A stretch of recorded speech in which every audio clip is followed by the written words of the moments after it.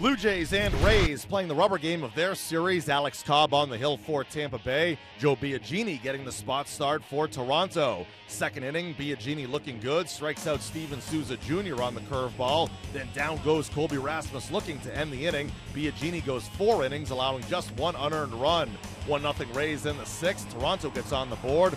Russell Martin with the RBI single. Kevin Pillar scores. We're knotted up at one apiece.